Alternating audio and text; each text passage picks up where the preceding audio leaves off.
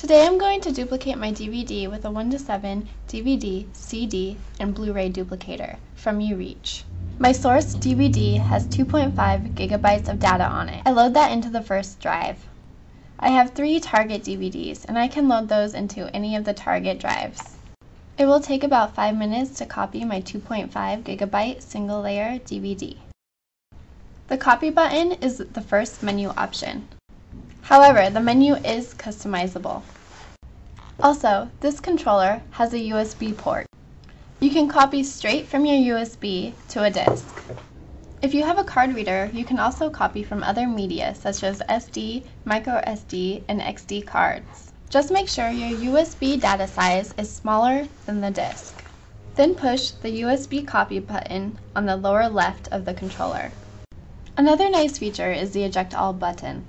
This makes loading and retrieving disks simple and easy. When the copy is finished, all the disks will eject. The display screen will also tell you if any of the copies failed. It looks like we have three successful copies and none of them failed. It took 4 minutes and 58 seconds to copy the DVD. I just showed you how to duplicate your DVDs with the 1 to 7 DVD, CD, and Blu ray duplicator.